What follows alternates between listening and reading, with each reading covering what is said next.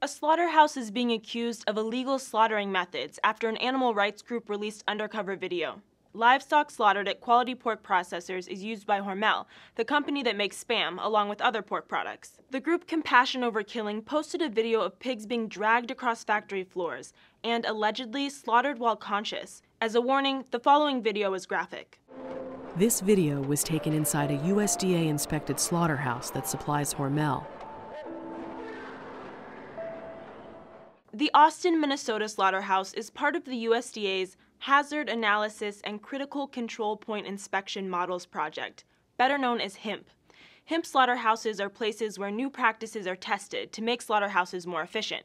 But Compassion Over Killing says the factory forces workers to take inhumane shortcuts and jeopardizes food safety. A spokesperson for the slaughterhouse told the Huffington Post If you look at the video as a full sequence, you will see the animals were handled according to acceptable regulations. I've got complete trust in the foods that we produce. But a spokesperson for the USDA called the slaughterhouse's actions appalling and completely unacceptable and said the department will launch an investigation.